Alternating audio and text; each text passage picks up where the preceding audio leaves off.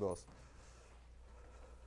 Well, since this is the first talk, I will try not to tire you too much so that you still have some energy left for the the next uh, the next uh, three. Um, yeah, Avi was asking me to say some uh, general things uh, about um, whatever the problems in uh, mathematical computer science and um, whatever whatever is, is, going on there. No, I mean personally, what what seems like is that whatever the kind of mathematics you are doing, you can somehow give it a little twist so that it gets. I mean, you start getting points of contact with uh, uh, things that interest people in uh, mathematical computer science and eventually get funded for it. So basically, uh, what I'm going to talk about is one of the illustrations of this, but I'm sure there are many more. So um, really the, the main, um, the, the key focus of this talk will be around um, um, say problems of uh, distribution for multiplicative groups.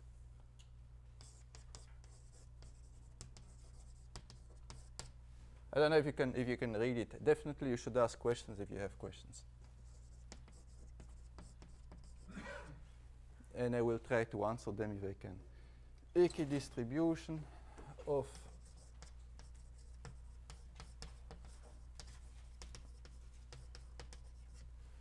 multiplicative groups and there will be a number of problems. Avi was ask, was was telling me, well, just don't don't just uh, list uh, theorems, but try to say what are uh, the the problems, uh, the remaining problems or interesting problems or questions uh, that that people maybe can look at, and there will be various kinds of problems. I don't think any of these problems is is easy, otherwise it wouldn't be a problem, but in any case, there will be questions that definitely require a new ID that somehow will go together with really a breakthrough on the level of methods. There also will be questions uh, that perhaps can be uh, advanced to some extent by reorganizing proofs, by making proofs more efficient.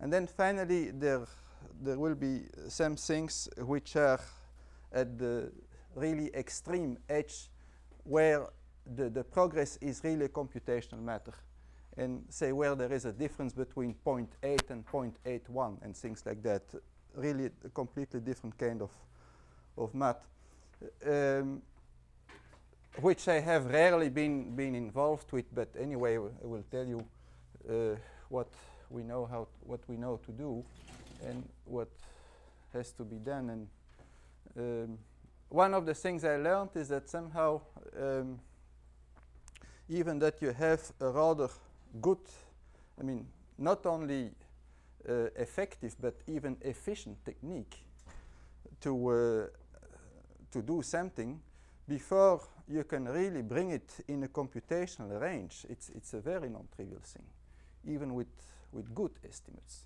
before somehow you can match what you can prove, say, for sufficiently large values and what you um, can verify numerically with a computer to make these things matches, it's not, it's not an easy thing. So anyway, there are basically uh, three things I will discuss, which is Gaussian estimates,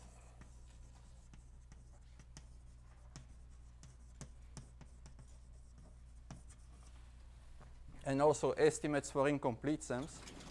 I mean, basically in this ball game. Then slightly more general, uh, slightly more general than Gauss sums, but still much less general than looking at general uh, Weyl type sums are uh, Mordell exponential sums.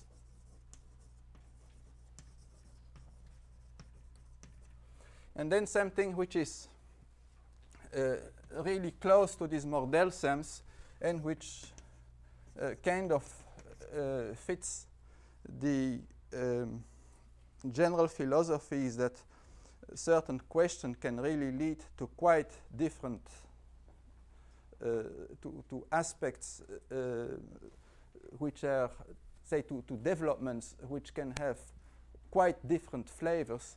Uh, this is something I want to illustrate with something I had been looking at last year, which is an, uh, which is kind of an, an, an interesting and rather amazing uh, story, but I will not tell you that here, uh, which are some developments around a problem in coding theory, which is known as the uh, Goresky-Klapper decimation problem.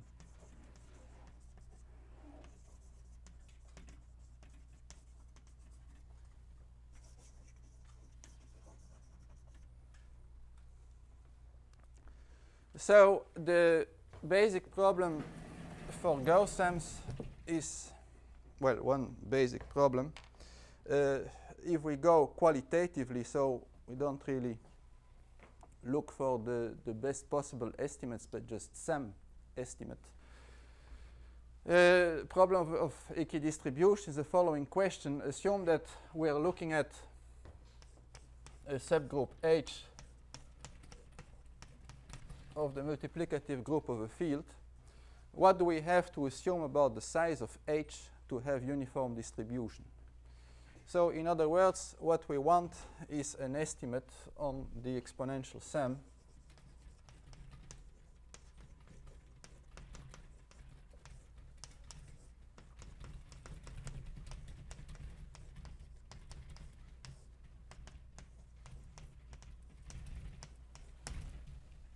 So I say we'll keep it qualitative, so we don't really look at very good estimates, just an, uh, a non-trivial estimate in the sense that the exponential sum is little of h.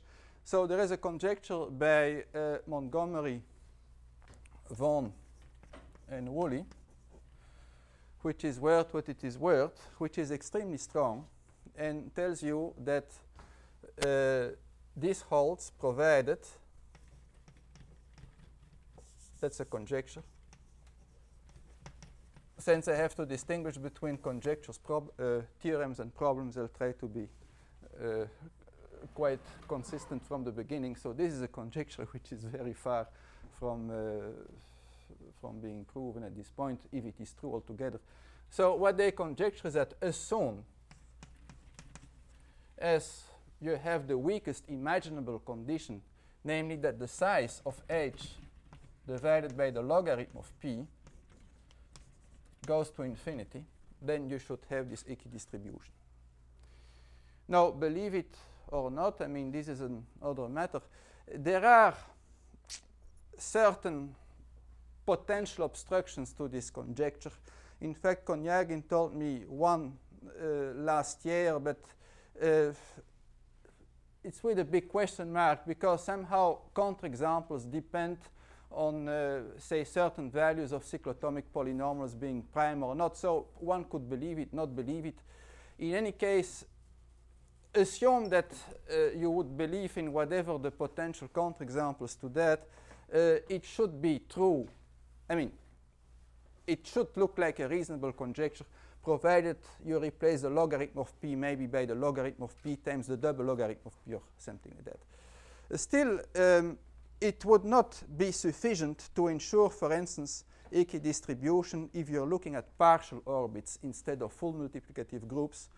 So one could perhaps try to come up with a conjecture which is safe from all points of view, uh, which I, I, really would be surprised, surprised if it would not be true, uh, namely assuming that uh, instead of saying h is large compared with the logarithm of p, let's just assume that h is not of polylogarithmic size. So let's do, let's do the following. Let's take log of h over log log p. Um, goes to infinity.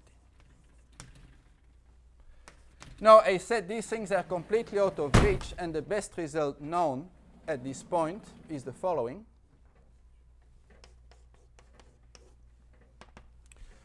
Uh, you have equidistribution if the logarithm, so I'm going to replace that by something which looks much weaker, but still it's a certain improvement, considerable improvement in fact on what was known. If log h over log p is bigger than c times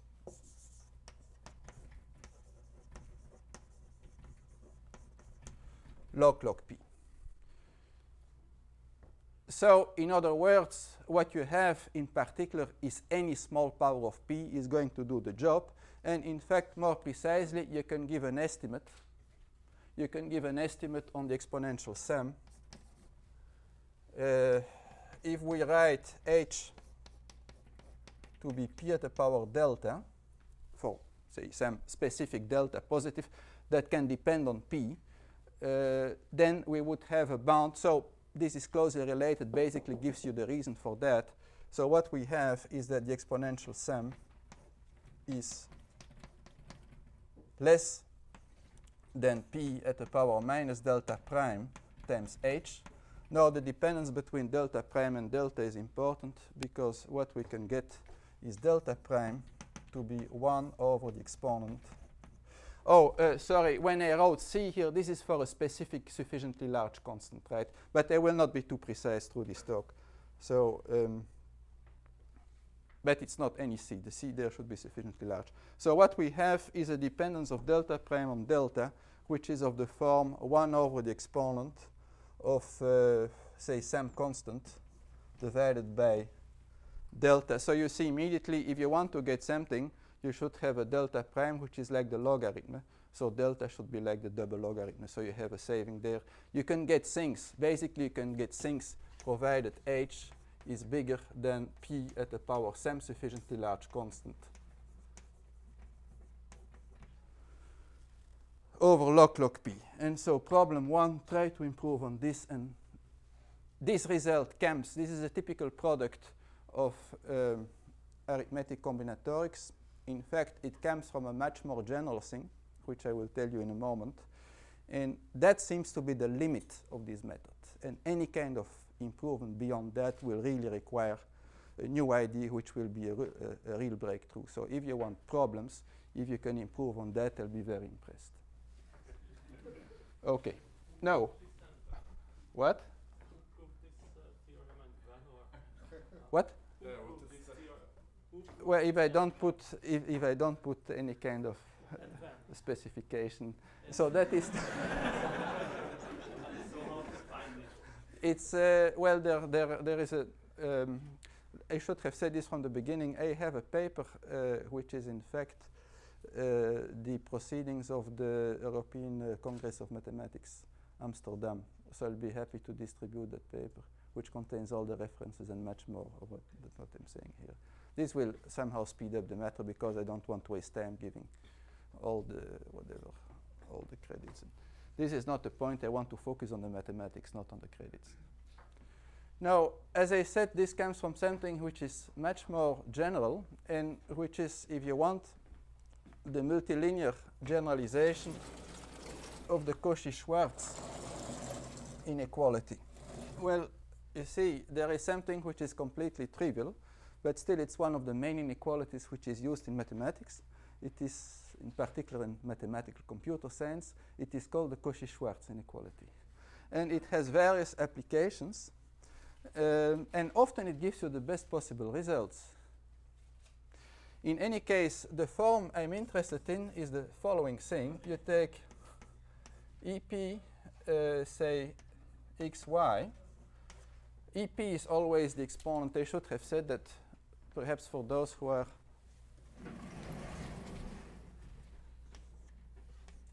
EP or EQ x is E 2 pi i x over q. Okay, so uh, if I take x and y in general sets A and B, uh, what you have is that this thing is less than square root of p times square root of a times b. In other words, you get a non-trivial bound provided ab is bigger than p at the power 1 plus epsilon. Or simply, in general, provided AB is, is much larger than p, particularly if AB is larger than p at the power 1 plus epsilon.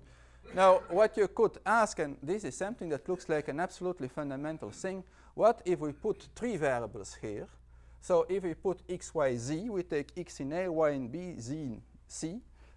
Uh, yeah, so A and B are completely general here, right?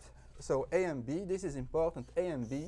Although these results are for multiplicative groups, really the principles they are coming from are much more general and allow you to, to show things uh, which are of uh, a nature which is not a priori of involving any kind of specific uh, algebraic structures and has its own interest particular to the theory of extractors, but I, won't, I don't want to get into that here. So A and B are completely general subsets of FP. So it looks like a completely natural question. If you add one more set here, do you have the same result? X in A, Y in B, Z in C. Can you get a non-trivial bound if A, B, C is larger than P? So this is something which is absolutely non-trivial at least to me. And uh, that kind of result is the type which, as you can perhaps imagine, gives you in particular uh, these exponential sum bounds. It's the following. Uh, if we take several sets, so I will erase this, let me put that as an uh, underlying phenomenon here, which is another statement now of a completely general nature. If we take, say, a certain number of sets, A1, AR, I'll tell you right away the, diffi the difficult case is R equals 3. If you can do R equals 3, you get the general case. So these are subsets. R is fixed of uh, Fp with the properties that, uh, let's say, the AIs are bigger than P to the epsilon, and the product of the AIs is bigger than p at the power 1 plus epsilon, then you have, here I'll write it in a non-quantitative um, form, you have that the multilinear exponential sum, so we take x1, etc., xr with xi in ai, is going to be bounded by p minus delta, where delta depends on epsilon times the product of the set. a. So that is the kind of thing uh, which are underlying this phenomena. They came from arithmetic combinatorics and um, uh, well, basically they give you in, in this form an optimal an optimal result provided uh, you are willing to go here for epsilons. If epsilon goes to zero, then of course it becomes important how delta epsilon is going to depend on epsilon and uh, uh, things like that. Uh, in any case, the, um, the, the, the, the, kind of thing which I was referring to that this type of inequalities uh, appear to uh, be connected to are questions of uh, say, random extraction out of general sources, which just like by some coincidence turns out to be also a topic of interest in mathematical computer science because what it really tells you is that you can extract a random and in fact a very good random bit out of R sources for which the total entropy assignment is slightly above 1 and that as a very general principle. I will not go into this direction but let me just say that this is not only a tool to prove that, but somehow that uh, by itself uh, is also a statement that has certain interest in things people have been looking at here in this, in this world. Now, um, a few comments. First of all, I have to go a little bit faster. Uh, one can raise the question, what is happening in, uh, well, what is happening with the, the problem, to come back uh, on the equidistribution, uh, the problem of simply understanding when the orbit of, of such a group, I mean, when such a group to some extent is dense. So we can go for something which is completely, well, I mean, which is a consequence, but which is definitely a weaker statement, which is density. What do I uh, mean by that? So density in the following sense that we want to have uh, the maximum of i over p going to 0, where the maximum is taken over, say, all intervals i in 1p, which are such that uh, i intersection ah is empty for some a in fp star. In other words, what you're looking for uh, is the maximal size of an interval which is not going to intersect some coset of your multiplicative group. This is, of course, much weaker because if you have, I mean, this is well known, if you have any exponential sum bound, then you can prove that this thing goes to zero. Now, to tell you what is the situation of this type of question, as I told you, for exponential sums, this is the best which one can do presently. And for this problem, this is also, I mean, for this problem which is asking much less, here you ask some kind of density instead of uh, equidistribution. Well, for that problem, again, uh, this thing is still the best, the weakest known condition to, um, to conclude that kind of phenomenon.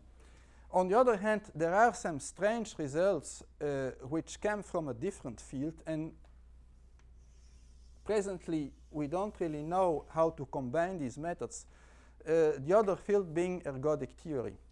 In particular, there is a theorem of Furstenberg which tells you that if you take, say, H to be the group generated by 2 and 3, or uh, basically the, the, the group generated by any given set of numbers which are not powers of a, a group generated by uh, two integers, given integers which are not powers of the same integer, then this thing is always true.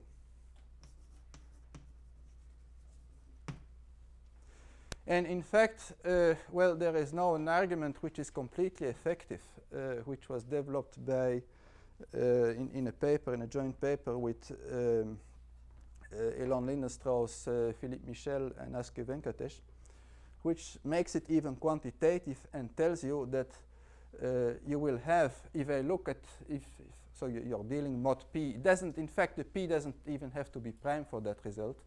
You can get this ratio.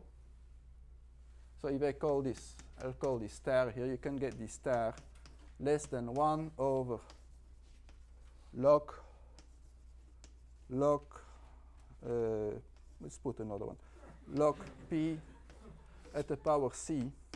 No, I'm not joking here, but we tried very hard to, to get better than that. And I mean, I'll be impressed if somebody comes with an argument to improve on that. Before, there were absolutely no effective bounds because the Furstenberg technique uh, was, was, well, I mean, not hardly constructive, let's put it like that.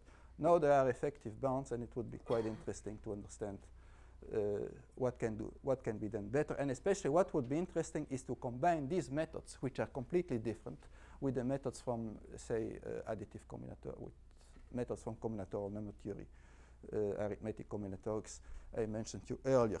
But time is going fast. So what do I call now? Um, one thing before um, before leaving the Gauss sums uh, what I should uh, say is that this theory is now reasonably well developed. In particular, um, there are results known in many other situations, say when you look at exponential sums mod q for q not being a prime.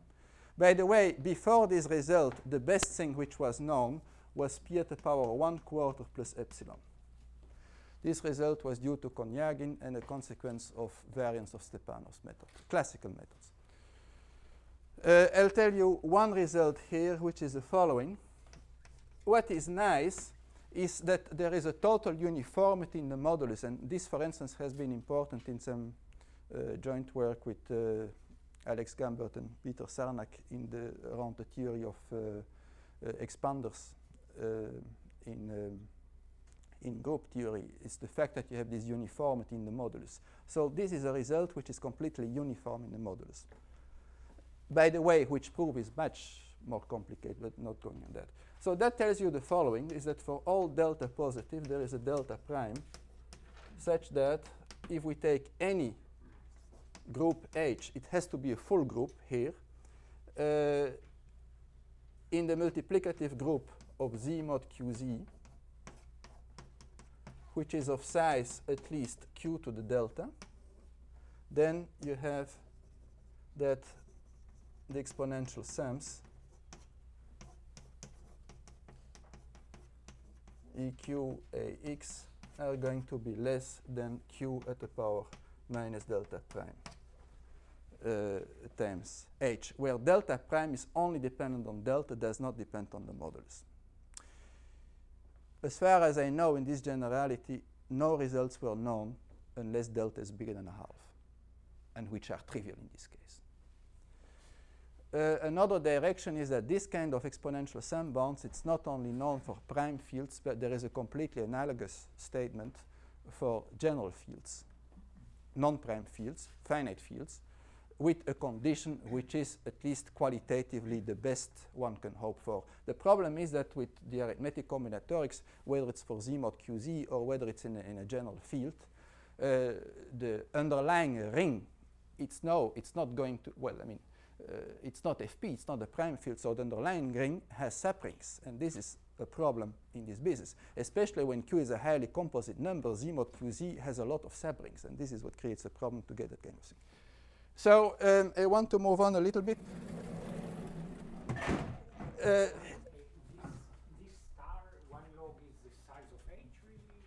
yeah, yeah, yeah. If, if you put the size of h, then you can, very good. I'm, I'm happy somebody is. So this would be the group generated by h.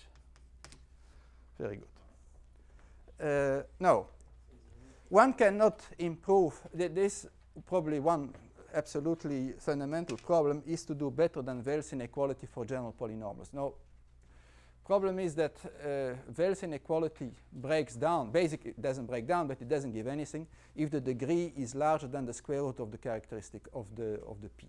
Let's let's just work with with, with prime fields.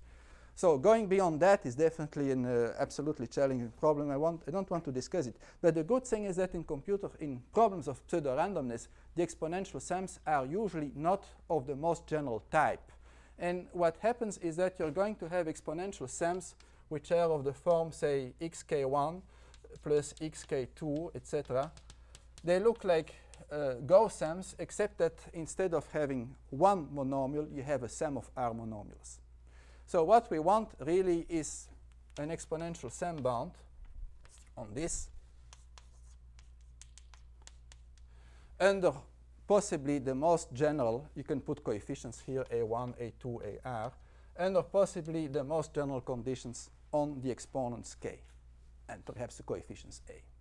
So what I discussed before is the case where R is equal to 1, and in this case, you can reformulate the thing about uh, groups in terms of the exponent.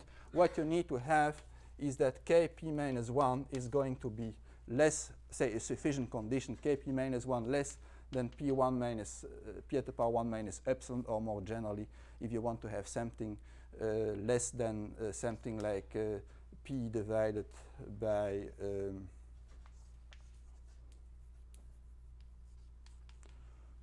Uh, uh, log log p or something like that, right? So what I want to do now is um, see what one can do in the situation when r is more than 1. In fact, this is what I call Mordell because Mordell had looked at that. And for a long time, in fact, Mordell's result was for uh, was basically the, the best estimate known until Weil, of course, gave his general, uh, gave a result which was much superior.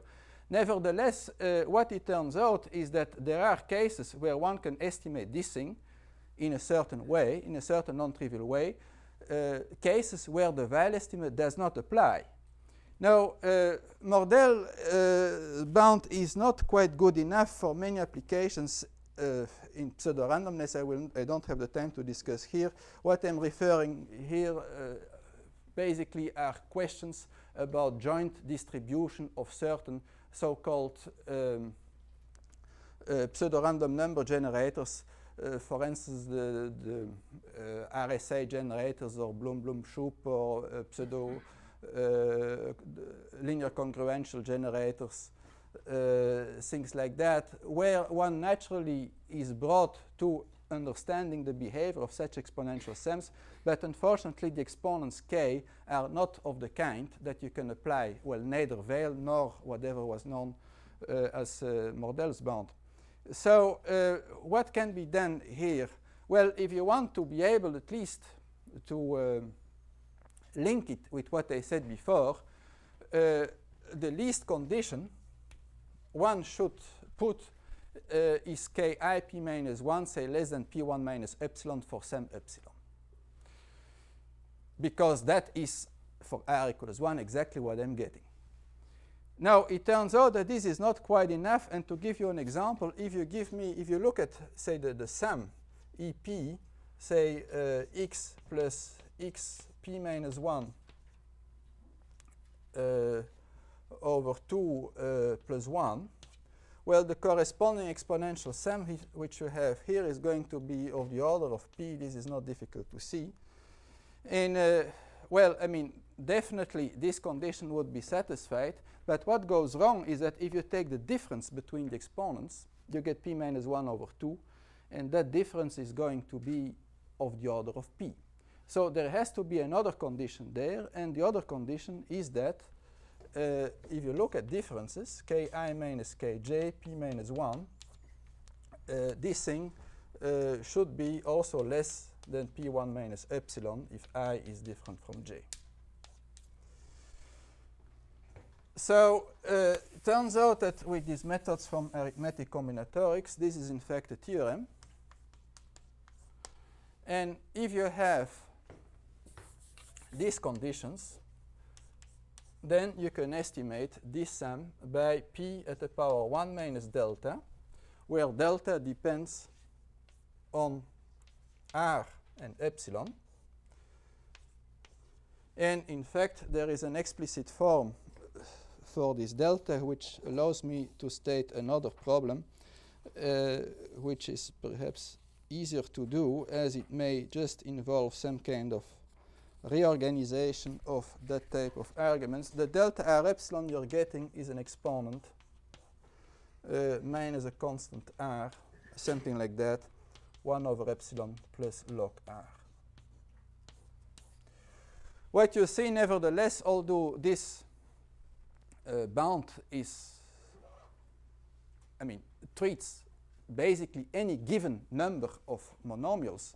When R is getting reasonably large, the, well, I mean, the, the bound becomes very quickly useless. In other words, if I want to get something useful, uh, what is important is that this delta be at least bigger than 1 over log p. So what you see is that this inequality becomes useless when r becomes as large as log log p. Usually for that kind of thing, you can go up to the logarithm of p. So what is a reasonable thing to try is to get that kind of estimates, well, I mean, with the same method, I believe, uh, for an r which is beyond the double logarithm. Say it should be possible to reach uh, the logarithm.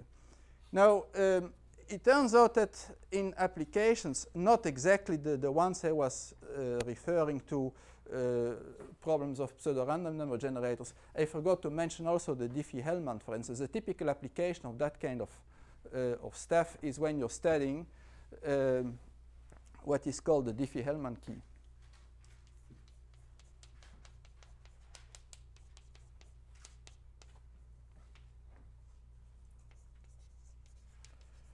which has to do with the distribution of numbers theta x, theta y. Um, well, you can write it down as fractional parts, so you would have theta x over p, theta y over p,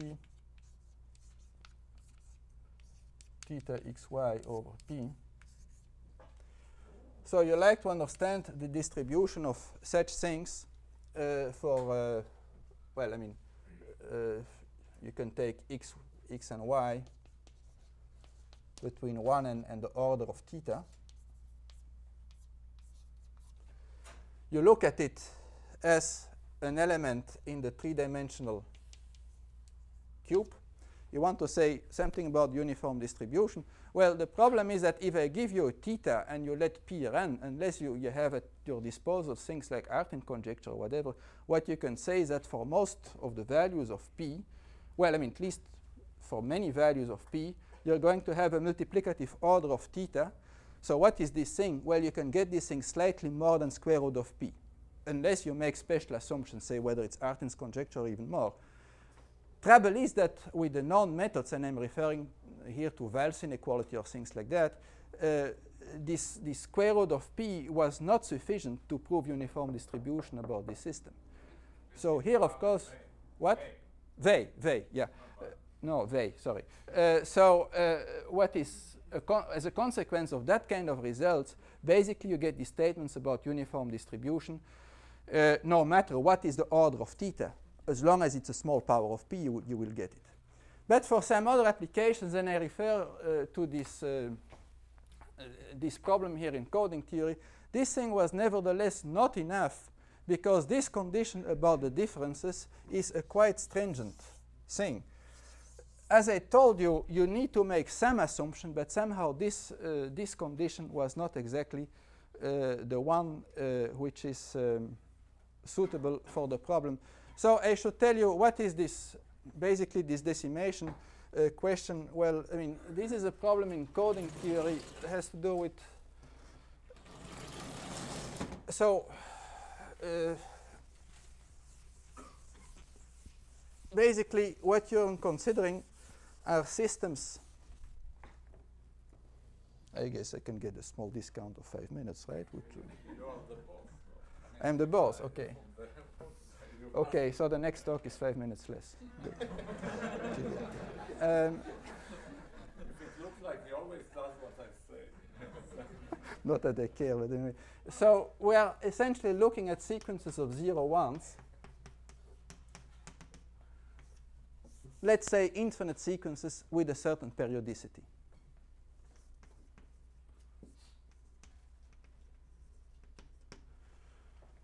So well, we are considering systems of such sequences that has certain properties, and the property you are we, are dealing with here is to have ideal cross correlations. Now, I'm not really sure I want to define exactly what it is. Uh, systems with ideal cross correlations. In fact, it will be not only one, one string and the other string, but also one string and the shifts of the, of the other string.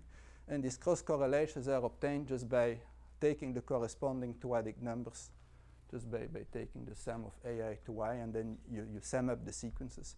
And what you want is that in the sum sequence, when you look at the distribution of the period of zero ones, it is 50-50. That means ideal cross correlation. So there is a uh, construction for such sequences that is exactly uh, the one I'm talking about, where you do the following. You take a large prime p, you take a number a, integer relative prime to p, and then you do two operations. First, you take the reciprocal. So let's assume that 2 is primitive, that, uh, that um, um, uh, 2 is uh, primitive. I guess I have to assume that uh, mod p. So what you do is that you multiply a with 2, the reciprocal of 2, 1 over 2 at the power i. This is going to give me the i digit. Then you look at this thing, mod p. So you get an integer between 0 and p minus 1. And then you do a further operation. You look to get a 0, 1. You look at that thing, mod 2. Then you get 0, 1. So this gives me a sequence A and uh, of zero ones. The problem is, so how do you get the, the full system? Well, what you do is that you look at decimations. So how do you get a decimation? Well, A, I'm going very fast here, right? Uh, D, the ith coordinates, it's simply ADI, where you assume that D is relative prime with P minus 1. So the conjecture was that for P bigger than 13, that kind of construction leads to a system with perfect cross correlations. Uh, why is that conjectured? Well, for p less than 13, there are counterexamples, and one verified this conjecture up to 2 mil, I don't know, 1 million, 2 million, or some 2 billion. Billion or million? Yeah, it's like the budget. Okay, good. but it's not quite enough, and uh, not quite enough, at least at this point. So um, this problem, it's, well, essentially what has to be proven, because this was one of the results of Goresky Klapper is that really to prove that result, what has to be shown is that uh, different decimations are uh, cyclically, I forgot the name, unequivalent. I have to go a little bit faster, uh, which roughly means equivalent to the following problem. So here we are getting closer to the exponential sums. Uh, in some form, the statement that, so this is the, the new problem here.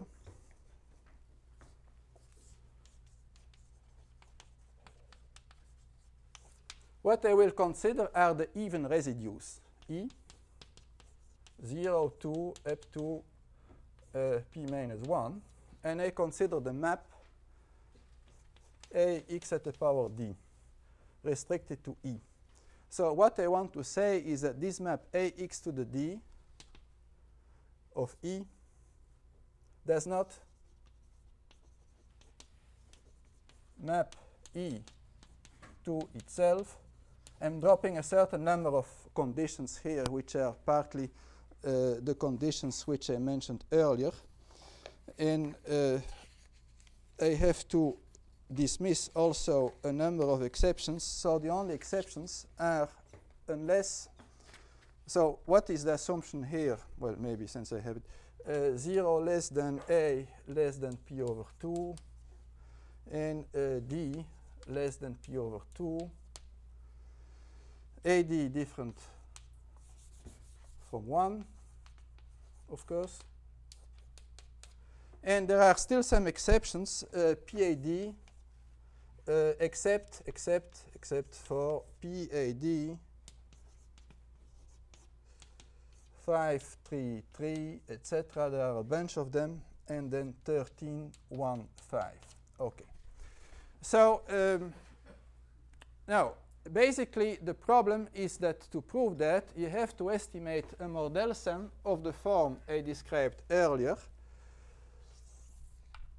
In fact, with two, with r equals 2, uh, with two monomials, which are sums of the form uh, ax plus b x at the power um, uh, D say. You, you want to have estimates on that. The trouble being that the common divisor, so if you want to apply the result I mentioned to you earlier, the, the I mean, this is really, okay, forget it. So if you want to apply the, I don't have great experience in teaching as you can see, the great, uh, the whatever, the very general statement I wrote you before, uh, the problem is that d minus 1, p minus 1 can be almost of the order of p. That is the problem. So this had several interesting developments. The first is that uh, we kind of tried to understand the weaker problem of solving congruences. This is in a joint uh, paper with uh, Enrico and uh, Konyagin.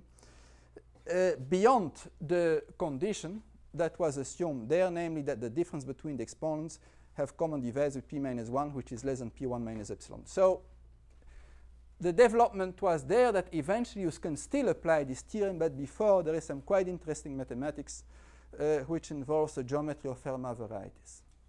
and uh, the, the theory of, uh, say, the, the Nevanlinna theory. Uh, I mean, it, it's very close to the, the kind of stuff Vojta did around um,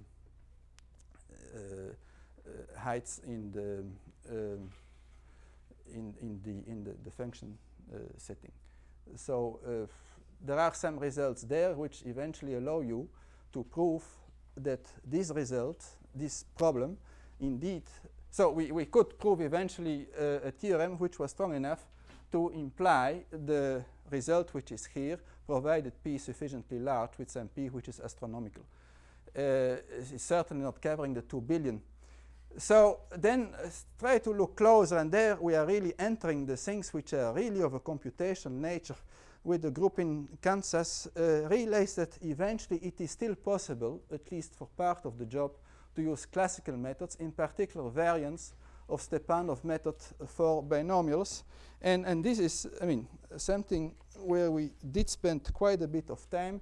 Eventually the result which we got uh, by analyzing the constants, but we are not only talking about exponents, because this makes sense, but even multiplicative constants are absolutely essential. So what is known now is that this decimation conjecture is valid, uh, provided, provided, uh, I have to write it somewhere, uh, provided we assume, I'm ending here, uh, we are supposing P to be bigger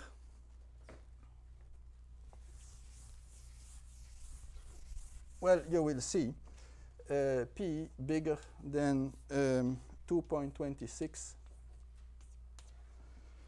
uh, 10 at the power 55. and that is, and this is, I'll tell you, with methods which are quite good, which are absolutely not only, uh, not only uh, explicit, but, but give you quite, quite good bounds. And with a lot, I mean, there you really have to work a page to, to save some small bit on, on a multiplicative factor because afterwards this, there, there is a power of this multiplicative factor which is going to amplify. So this is definitely the kind of math which uh, I mean most of us are not really doing but eventually if you really believe at some point I had the hope that one could perhaps really reach the, the range where one had verified it by, by computer and uh, this was of course my mistake. But in any case it's trying to, these, these numbers are not random. And trying to improve that would be definitely quite interesting. So I will leave you with that thought and uh, leave the space for the next speaker.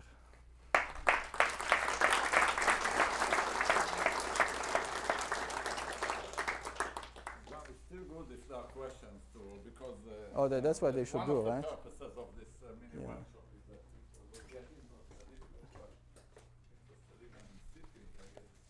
Uh there are lots of uh ask for questions and maybe people can can move uh so that there are lots of free seats here for those who are standing in the back.